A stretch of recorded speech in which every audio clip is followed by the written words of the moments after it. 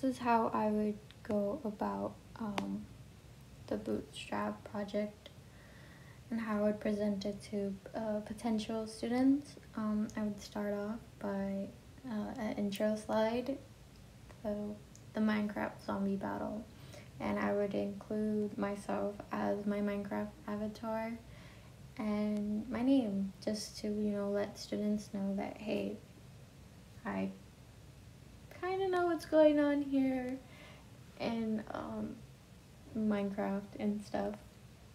Uh, next, I added in a, a slide with a question, what would you do in a zombie apocalypse? To, uh, you know, get them engaged and have them uh, know what they're gonna do in this, or create with this game and stuff. And I added um, a screenshot of me playing it. Um, I wasn't doing so good, but you know, so they have an idea. And uh, for the key concepts, uh, I think the most important part here was the blocks. Um, obviously, it was the what was used majority of the time, and I think it's important for students to know what each of them means and how they could use it here and later on in the future for their projects.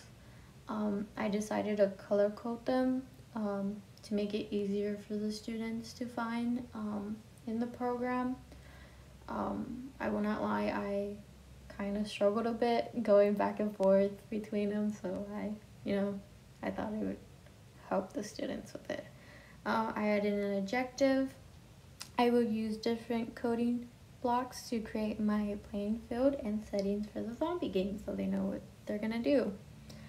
Uh, for each slide, I had um, a basic layout of what they were gonna do and stuff. So for the Walmart, for example, count your steps. Um, I again color coded them, but whatever is in gray, like it was, it's for them to do on themselves, which is something that I would explain to them. For example, uh, create your new project means that them themselves have to go and create a new project, which would be something that I would um, show them and help with uh, in case it's their first time.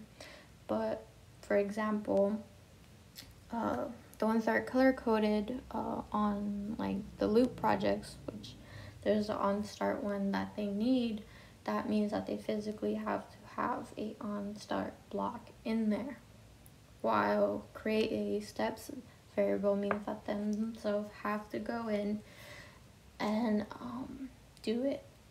And I added in a picture with a click animation uh, to show later on like how their screen is supposed to look like. And I also could do later on, um, you know, have them um, practice themselves and then like, hey, like does it look like this, you know, and stuff. So again, I basic layout for all the other ones and stuff. And I tried to be as specific but simple for students to, um, you know, not have a hard time with it.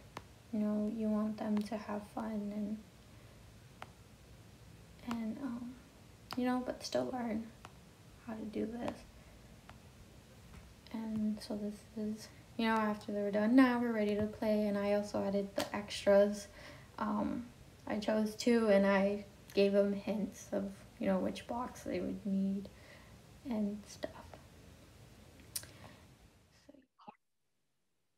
So um, this is me showing y'all my coding and um, running it for y'all. Um, so for this, um, I also wanted to add in that I would, you know, go through with it with students and also in between have them uh, run it to see that everything's going fine with it.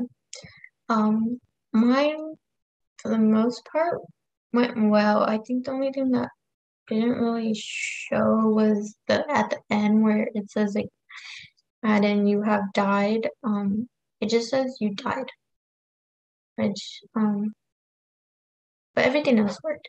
So um, let me run it.